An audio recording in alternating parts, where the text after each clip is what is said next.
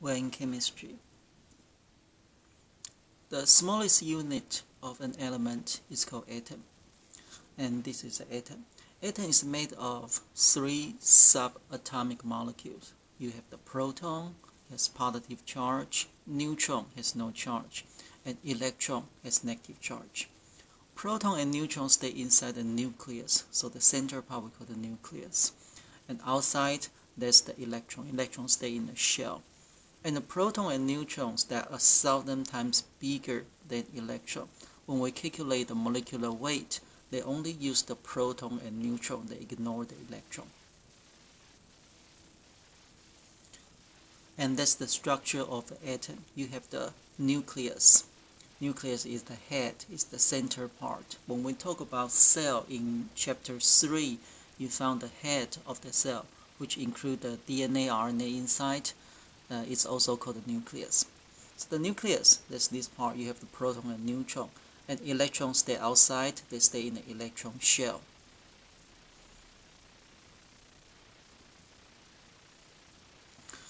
And each element have their different number of proton. So they use the proton to define what's the element. So like this one is number 6, number 6 is carbon. And this number called atomic number. And when we calculate how much they weigh, and these three subatomic part particles, proton, neutron, and electron, because electron is so small, they ignore the electron. They only use the number of proton and neutron add together, and they called atomic mass. That's how much they weigh. Like a carbon, atomic mass is about 12.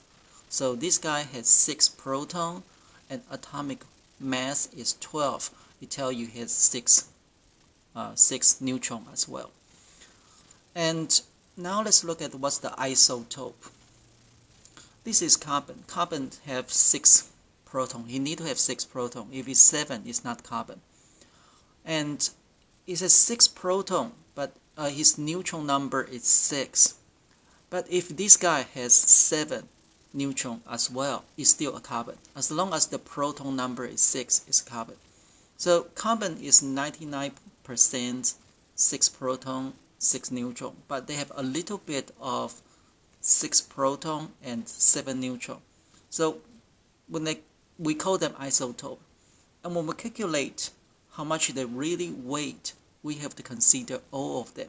So it's like 99% use carbon 12 and 1% use carbon 13 and so when we calculate the atomic weight, we found they have decimal point, and that's the reader. So atomic weight is the average isotope abundance, like oxygen uh, is most of them, over 99.8% is oxygen 16. And they can have 17 and 18. The reason is their number of neutrons different. So they, they calculate all of them, that's atomic weight. And this we call them isotope.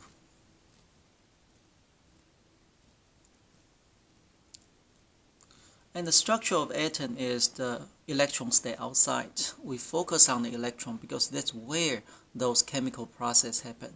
It happens in the shell, especially the outer shell. This is where those chemical bonds happen. So now let's look at uh, electron. Electrons stay in the shell. So you have the inner shell, the outer shell. And all the shell follow the octet rule. Octet rule, also I call it 288 rule. This tells you how many electrons you can put in each layer of shell. The first layer you can put 2. And the second layer after that you put 8. And the third layer you put 8. And each atom they need to follow the rule, the 288 rule to make them happy. In chemistry, happy means low energy. So they will do their best like carbon, this outer shell is 4. They need to find another 4 to make them happy. So they will have chemical interaction with other atoms. Neon, neon is a noble gas. You found the outer shell is 8. So the neon is very stable. They are very happy by themselves. And that's because the outer shell is, is full. So they follow the 288 rule and every atom need to follow this rule. So they, most of them, the outer shell is not 8 or the inner layer is not 2. So they have to have chemical interaction with other atom. and that's when the chemical bond happens. So the chemical bond are the chemical reactions between one and the other uh, atom. They either gain or lost or share those electrons and they form the chemical bond. So let's look at the first bond. The first bond is called ionic bond. Ionic bonds, they create ions. If this ion has positive charge, we call it cation. And if it has negative charge, we call it anion. And they will attract each other and they form the ionic bond. A good example, sodium chloride. Let's look at the sodium. Sodium atomic number is 11. So this guy has 11 proton. That's why it's called sodium. And proton has positive charge. Because of that, we know sodium has 11 electron. Electron has negative charge. And when we look at the octet, octet rule, the first layer has 2, the second layer has 8, and the third layer has 1. You need to find 7 more. So it's very difficult for sodium to find 7 more electron. So it will give those electron 1 electron away. Because if it gives those 1 electron away, the outer shell is not this one anymore, it's this one. And this one has 8 so it's pretty happy. In chemistry happy means low energy. So sodium love to give one electron away.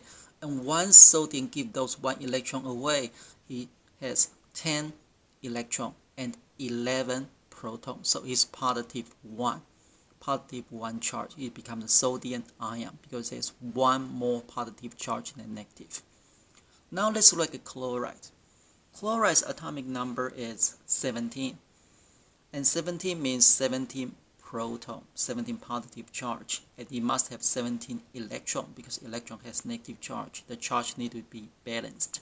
So it's 17 electron. The first layer has 2, the second layer has 8, and the third layer 7. You need to find one more. So for chloride, it's much easier to find one more electron than giving those seven electron away. So chloride love to take one electron. And when the sodium give one electron away, 100% giving away, chloride 100% taking that electron. So chloride outside electron become 18. So 18 electron, only 17 proton. His charge is negative 1. So chloride become an ion, negative charge ion and both of them are very happy. In chemistry, happy means low energy. So sodium chloride, when they combine together, and they are very, very stable. And that's the salt. So salt is a very stable uh, molecule. And that's ionic bound. And that's sodium chloride. And the bond to combine them together, ionic bound. And those ions, if they have positive charge, we call them cation, like sodium, potassium, uh, calcium, positive 2. So when you see positive 2 means it gives 2 electron away. So still, it's easier for calcium to give 2 electron away than gain 6 electron. So they love to give 2 electron away. Magnesium, the same, giving 2 electron away. And this group, we call them anion. They have negative charge, like chloride, uh, bicarbonate, the whole thing, HCO3, whole thing together, and has negative 1. And biphosphate, negative 2. And sulfate, negative 2. So these are anion, these are cation. Now let's look at the different bound called covalent bound. Definition of covalent bound is electron sharing. They share electrons. And they can share one pair of electrons. So that's a single bond. They can share two double bond. And when they share more, of course, they're stronger. Uh, example, hydrogen. So hydrogen atomic number is 1, means 1 proton, 1 electron. And the inner layer of the shell, you need to have 2 electrons. So 2, 8, 8 rule, octet rule. So you need to find one more. You find another hydrogen hydrogen also want to have the electron. And both of them want to get each other's electron. Eventually, they share. They put their electron in the center and they share. When they share the electron, for this guy, it looks like he has two. He's happy. For this guy, he looks like he has two. He's happy. So they share electron. And they use the dashed line to represent the bond. That's the covalent bond. So the definition is electron sharing. They can share one or like the oxygen, they share two pairs. So that's the double bond. And the carbon, carbon atomic number is 6. So 6 has 6 proton, it also has 6 electron. So 6 electron, the first layer, 2, the second layer, 4. So he need to have 4 more. And he need to find, he need to uh, form 4 covalent bonds with other molecules. So he can combine with uh, oxygen and oxygen, or he can combine with other uh, 4 hydrogen. Or he can combine with 3 hydrogen and 1 combine with another carbon. So suddenly he has 3 more possibility to connect with other molecules. And that's why the biomolecule we use carbon as the building block because it can form four covalent bonds.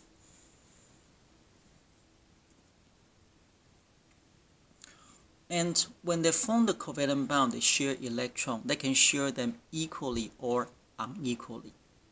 And when they share them equally, we call them nonpolar covalent bond. When they share them unequally, and that's the polar covalent bond. And the reason is the electron has negative charge. So when they share unequally, the negative charge can come closer to one molecule, uh, one atom than the other. And when they share so unequally, these partially negative and partially positive charge will become another bond called a hydrogen bond. So hydrogen bond is a weak attractive force. And let's look at the hydrogen bond. That's the water. So water, oxygen and hydrogen, they share covalent bond, but the oxygen is eight times bigger than hydrogen. They're gonna pull electron very close to the oxygen side. So the head part is a little bit negative because electron has negative charge. And the hydrogen part is a little bit positive. And another molecule the same. And those partially negative, partially positive will attract each other. And this bond is hydrogen bound and they use the dashed line to represent it because it's partially it's not like a solid line. That's the covalent bond so that's the hydrogen bond hydrogen bond is a weak bond so you can break it.